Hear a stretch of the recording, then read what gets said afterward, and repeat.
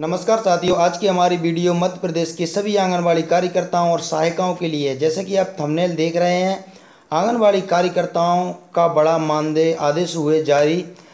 Sir, राज्य सरकार के आज आंगनबाड़ी कार्यकर्ताओं, सहायिकाओं, उप आंगनबाड़ी कार्यकर्ताओं के मानदेय बढ़ाने के आदेश जारी कर दिए हैं, जिसके तहत आंगनबाड़ी कार्यकर्ताओं को दो हज़ार रुपये तक का बढ़ा हुआ वेतन मान मिलेगा।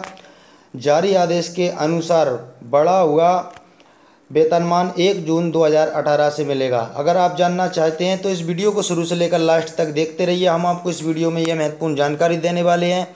वीडियो पसंद आए तो वीडियो को लाइक करें, अधिक से अधिक इस वीडियो को शेयर करें, जिससे सभी आंगनबाड़ी कार्यकर्ताओं को, सहायिकाओं को ये महत्वपूर्ण जानकारी मिल सके।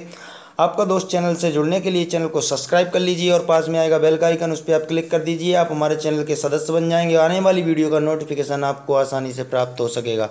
तो चलिए दोस्तों, शुरू करते हैं। Let's go.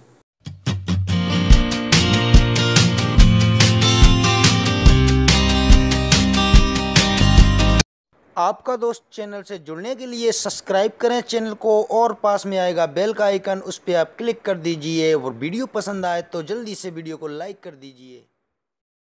आंगनवाड़ी कार्यकर्ताओं के मानदेय में 2000 की वृद्धि की गई है। अभी उन्हें पाँच हज़ार रुपये मिलते हैं। केंद्र सरकार से तीन हज़ार अतिरिक्त मानदेय मिलता है। अब कुल दस हज़ार मानदेय मिलेगा। सहायिकाओं को पच्चीस सौ रुपये मानदेय मिलता है। जबकि अतिरिक्त मानदेय में एक हज़ार रुपये और बढ़ा दिए हैं। केंद्र से मानदेय पंद्रह सौ रुपये मिलता है। कुल कुल पाँच हज़ार मिलेंगे। इसी तरह उप आंगनवाड़ी कार्यकर्ताओं के मानदेय में एक हज़ार रुपये की बढ़ोतरी की गई है।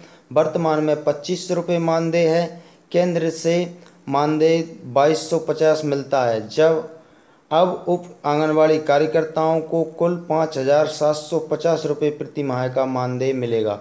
तो दोस्तों, वीडियो आपको कैसा लगा? अगर पसंद आया हो तो लाइक शेयर करें, अधिक से अधिक शेयर करें, जिससे सभी आंगनबाड़ी कार्यकर्ताओं को, सहायिकाओं को ये महत्वपूर्ण जानकारी मिल सके।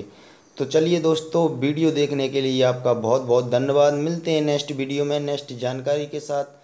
आपका दिन शुभ हो।